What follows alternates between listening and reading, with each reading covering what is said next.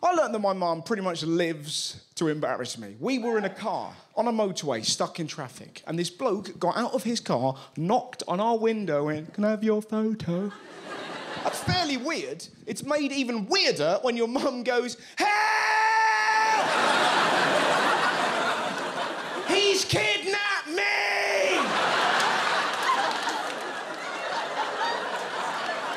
He's using me as his sex slave! Help!